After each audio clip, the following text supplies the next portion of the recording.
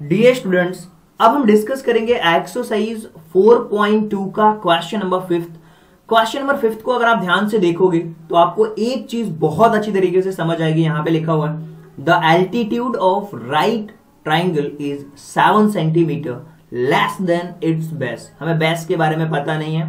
बस इतना पता है कि राइट ट्राइंगल है और उसका जो एल्टीट्यूड है एल्टीट्यूड का मतलब होता है हाइट वो उसके बेस से सेवन सेंटीमीटर कम है।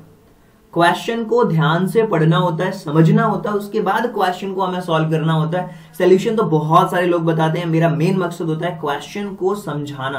ताकि इस तरीके के क्वेश्चन की जो लैंग्वेज आपके एग्ज़ाम्स में आएँगी तो आप सॉल्व कर पाओगे। यहाँ लिखा हुआ if hypotenuse is 13 centimetre find the others two sides हमें दूसरी दो साइड्स फाइंड आउट करना देखिए इसको मैं समझाता हूँ एक प्रैक्टिकल से एक ट्राइंगल्स को ड्रॉ करके। यहाँ से सेप ले लेते हैं और एक राइट ट्राइंगल मैं यहाँ पे लेता हूँ। यहाँ पे आई थिंक राइट ट्राइंगल तो नहीं है। क्या मेरे पास और सेप्स में कुछ चीज़ें हैं क्या? आ, ओके कोई इशू नहीं है। यहीं से हम ले लेते हैं। एक इसी के थ्रू ही ट्राइंगल को देखते हैं। ये तो ट्राइंगल है लेकिन ये राइट ट्राइंगल्स नहीं है। ये राइट ट्राइंगल अपने पास में नहीं दिया हुआ। तो सबसे पहले तो इसको हम हटा देते हैं और क्वेश्चन को सॉल्व करते हैं। मैं आपको राइट ट्राइंगल ड्रॉ करता हूँ, देखिए।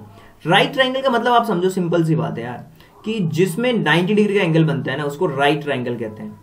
ये होता है आपका राइट ट्राइंगल अब इस क्वेश्चन को समझने में क्या आपको दिक्कत आ रही है? कोई दिक्कत नहीं आनी चाहिए वैसे तो। जैसे मान लो ये आपका ए ये बी और ये सी हो गया।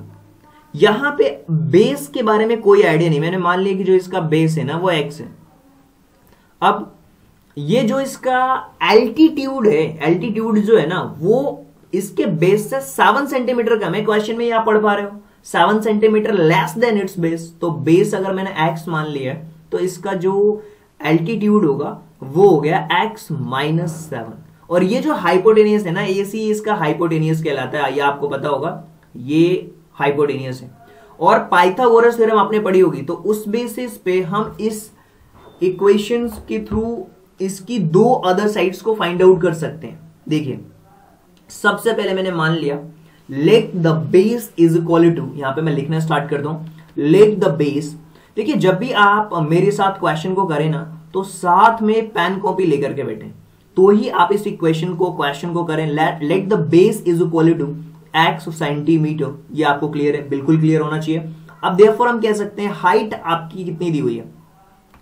So therefore height H E I G S T height height is equal to कितना हो जाएगा? एक्स माइनस सेवन मैंने आपको बताया। और जो हाइपोटेनियस है, वो हमें दिया हुआ है गिवन दैट गिवन है। और गिवन दैट हाइपोटेनियस आपको दिया हुआ है। और हाइपोटेनियस अगर किसी चीज़ की दी हुई है हमें हाइपोटेनियस तो आप यहाँ पे क्लियर कट कह सकते हो, वो थर्टीन आपको दिया हुआ राइट right? जब आपको ये हाइपोटेनिस दिया हुआ है तो हम यहाँ पे यूज़ करेंगे पाइथागोरस थ्योरम और पाइथागोरस थ्योरम क्या कहती है? हाइपोटेनियस का जो स्क्वायर होता है ना, वो बेस और परपेंडिकुलर के स्क्वायर के बराबर होता है. Using Pythagoras Pythagoras Pythagoras theorem Pythagoras theorem के अकॉर्डिंग हम चीज़ों को देख सकते हैं और समझ भी सकते हैं. तो पाइथागोरस थ्योरम में आप क्या देख पा रहे हो? कि जो हाइपोटेनियस का स्क्वायर है, वो बेस और परपेंडिकुलर के स्क्वायर के बराबर है। बेस का स्क्वायर हो गया और ये हो गया आपका परपेंडिकुलर का स्क्वायर एक्स माइनस सेवन का स्क्वायर इक्वल टू थर्टीन के स्क्वायर के बराबर होंगे। ये पाइथागोरस थ्योरम कहता है। तो आप देखिए यहाँ पे यहाँ पे आप देख पा रहे हो एक्स स्क्वायर है और ये है आपका ए माइनस बी का होल स्क्वायर और ए माइनस बी का होल स्क्वायर क्या होता है? A square minus two A B plus B square तो यहाँ पे हम करने वाले हैं सबसे पहले क्या? एक्स स्क्वायर यानी कि A square minus two A B यानी कि two into seven into x यानी कि फोर्टीन एक्स माइनस का फोर्टीन एक्स और फिर फोर सेवन सेवन जा फोर्टी नाइन प्लस का फोर्टी नाइन और अगर मैं यहाँ पे देखूँ कि थर्टीन का स्क्वायर होता है वन सिक्सटी नाइन अब मैं यहाँ पे क्या करने वाला हूँ? एक्स स्क्वायर और एक्स स्क्वायर ये हो जाएँगे टू एक्स स्क्वायर माइनस का फोर्टीन एक्स और फिर अगर मैं इस फोर्टी नाइन को लिखा हुआ है फोर्टी नाइन प्लस का, और ये माइनस का वन सिक्सटी नाइन होगा जब ये इस तरफ़ आएगा इक्वल टू के तो ये इक्वल टू ज़ीरो हो जाएगा। अब यहाँ से जो इक्वेशन आएगी, चूँकि 169 को हमने इस तरफ़ कर लिया है तो अब हमारे पास एक इक्वेशन बनेगी। वो इक्वेशन हमारी क्या बनने वाली है? ध्यान से आप देखना।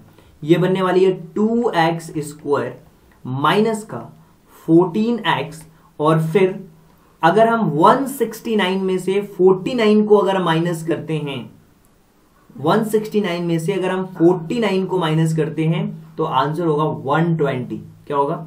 माइनस का 120 होगा, क्योंकि माइनस का नंबर बड़ा है।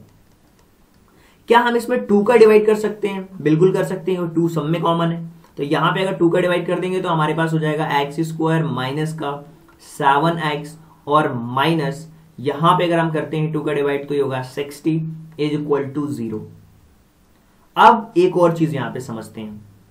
सबसे पहली चीज़, ये है x square minus seven x minus का सिक्सटी इक्वल टू ज़ीरो तो यहाँ पे सिक्सटी का ऐसा स्क्वायर हमें देखना है जिसको प्लस सिक्सटी का ऐसा फैक्टर देखना है जिसको प्लस या माइनस करने पर सेवन के इक्वल में होना चाहिए.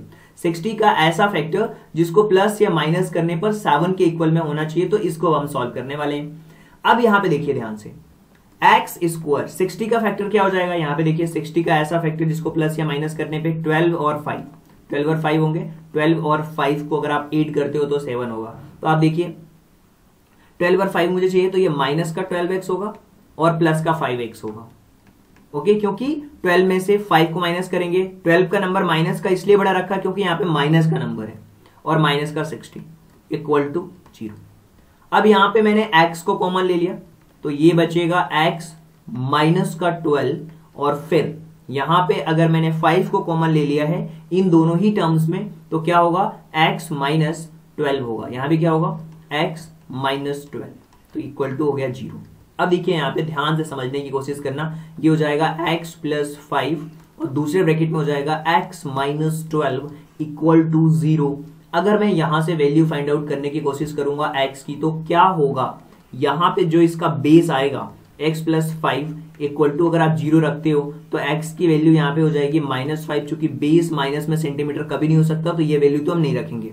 अब ये लिखा हुआ x minus twelve equal to zero तो यहाँ पे x की जो वैल्यू आ गई है, वो आ गई है ट्वेल्व यानी कि ये हो सकता है परफेक्ट आपका, ये बेस हो गया। तो यहाँ पे हम देखेंगे कि जो माइनस में है, वो कभी भी, वो इक्वल नहीं हो सकती तो ये वैल्यू एग्जिस्ट तो करती नहीं है। तो हम लिख सकते हैं कि therefore x equal to twelve and second side so आप कह सकते हो बेस जो हमारा आया है यहाँ पे, जो बेस आया पहली साइड फ़र्स्ट साइड हमारी क्या आई है? बेस बेस आपका, हम बेस हमारी फ़र्स्ट साइड है ओके बेस हमारी क्या हो जाएगी? फ़र्स्ट साइड सो बेस हमारी क्या हो जाएगी? 12 सेंटीमीटर क्यों? क्योंकि एक्स की वैल्यू 12 अनदर साइड क्या हो जाएगी हमारी? अनदर साइड हमारी क्या हो जाएगी? आपको ही पता है एक्स माइनस सेवन है। तो यहाँ पे 12 माइनस सेवन यानी कि प्लस का 5 होगा। क्या हो जाएगा? 5 सेंटीमीटर तो हम कह सकते हैं कि the other two sides are five and twelve centimetre यहाँ पे बिल्कुल लिखा जा सकता है hence hence the other two sides hence the other two sides other two sides other two sides are five centimetre and twelve centimetre ये बिल्कुल ही क्लियर होगा आपको कि फाइव सेंटीमीटर और 12 सेंटीमीटर है।